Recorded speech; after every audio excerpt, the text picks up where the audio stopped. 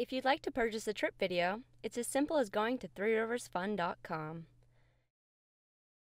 Make sure to follow all the fun and excitement on our Facebook, YouTube, Google, and Twitter.